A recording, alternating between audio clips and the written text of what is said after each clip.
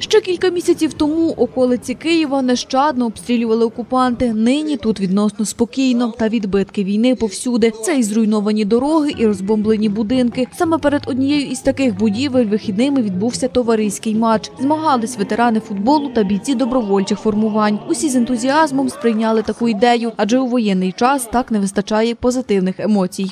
Організатори благодійного матчу спеціально вибрали те місце, е, де поруч з нашим е, стадіоном є будинок, куди попав снаряд і дійсно показав біду.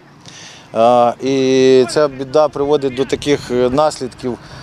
Ну а ми тут поруч, поруч, щоб підняти дух і цих людей, і тих, хто на фронті, і тих, хто в тилу, але всі з одною ідеєю перемогти Команда Добробат на зеленому килимі зустрілась із київським маестром. Обидві команди знають ціну перемоги, що здобувається кров'ю та потом. А ще чого не бракує гравцям це витримки. Це е, хлопці, які не втікли, які залишилися на своїх місцях, які прийшли і взяли зброю. Якщо ЗСУ це лице президента, то добровольці це квітка нації.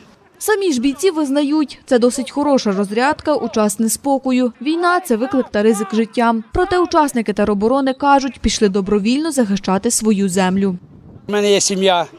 Е, Мені треба захищати сім'ю, захищати братів, сестер е, і всіх вулиць наших українців, бо Китай нас не прийде захищати. Якщо ми самі себе не будемо захищати, то мене привело до Добробати. Ветерани спорту визнають, супротивники серйозні. У гравців команд добра фізична підготовка та бойовий дух. Це певно і зробило змагання між командами більш видовищними. Хлопці це воїни. І ми це зрозуміли навіть не тільки там, де вони роблять щось, а там, де вони віддаються на цьому полі, на зеленому полі. І вони е, свій хист е, здатний оборонятися, здатний атакувати, показали на футбольному полі. Організація Надійна країна, що займається благодійною допомогою, стала організатором турніру. Таким чином, каже керівник, хотіли привернути увагу до потреб воїнів та постраждалих під час війни. Цей матч він підкреслює те, що є бажання. Всі футболісти вони не за гонорари виступали, бо тут є імениті е, футболісти там, з Динамо, з Оболоні, і, е, команда артистів.